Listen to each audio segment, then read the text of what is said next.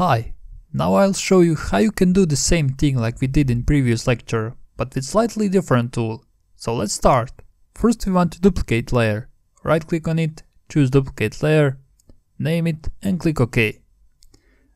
Now we will use clone stamp tool. You can find it here in toolbox or you can simply use keyboard shortcut S. Clone stamp tool is very important tool in Photoshop and it's amazing. It's also useful for duplicating objects we can right click and choose size and hardness, but first we need to understand how it works. To start with clone stamp, it's required to set the sampling or target point. If you don't do that, when you click, you'll get an error like this. This tool is taking target point and cloning it wherever you want. To set the target point, you need to hold Alt key or Option key on the Mac and click. So now we can move this area wherever we want.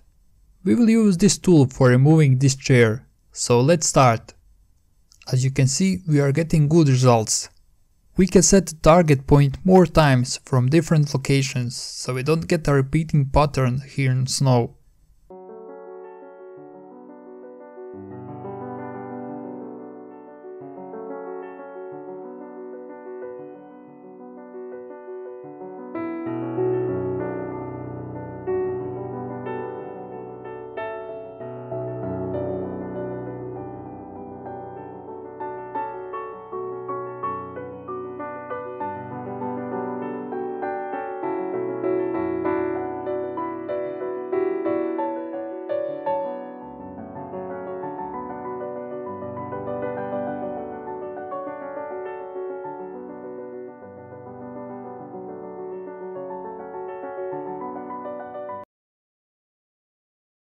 When you make a mistake, you can click on Ctrl Z or Command Z on the Mac to undo.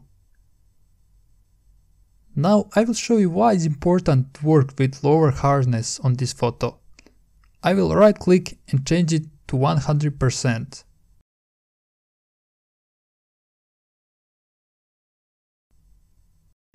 As you can see, I'm getting some circles with hard edges and we don't want that. So I will bring it back and as you can see I'm getting more softer edges.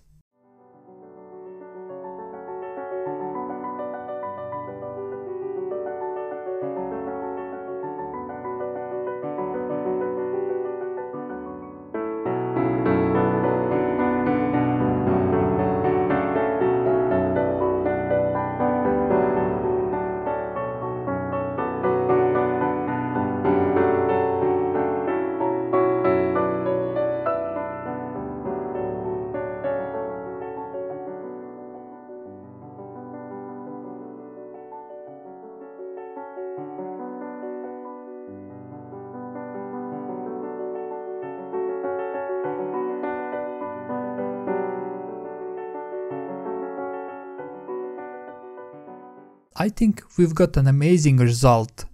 Now I will show you comparison for tools that we used. Using clone stamp tool required more time, but as you can see we've got a better result. And that's it for this lecture, so see you in next video.